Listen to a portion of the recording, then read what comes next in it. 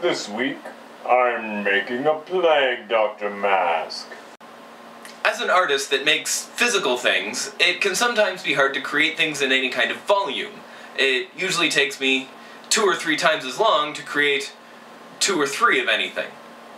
With this particular project, though, I solved this problem with a laser! Uh, at the studio, where I have my workspace, there is a wonderful laser cutter, which sat staring at me and teasing me with possibilities for a couple of weeks before I came up with the idea to make a Plague Doctor mask.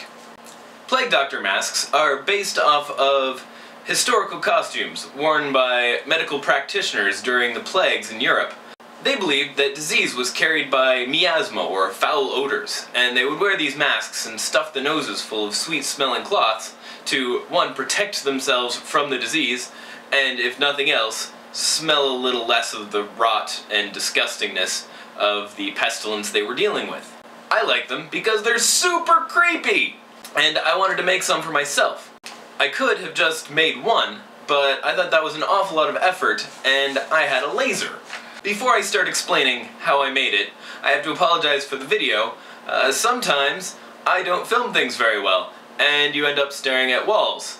So I have reenacted my creation of the uh, initial parts of the Plague Doctor mask, hopefully with uh, adequate accuracy. How I did it was a process I've seen in a bunch of places is you make the sculpture of what you're doing and then coat it in tape, duct tape. I use masking tape. And once you have that shell of tape, you can cut it off along the seams that you want to be the seams of the mask and lay it out on paper. And that gives you a pretty good rough pattern.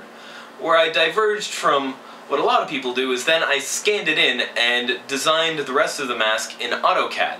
That allowed me to put uh, stitching holes, which you need when working with leather, and also put on a flame pattern which the laser could etch in. Uh, it worked extremely well and I can now make as many as I want as long as I have enough cows to make them out of. Stitching them together still takes forever but they come out really really nicely and they smell beautiful like burning flesh.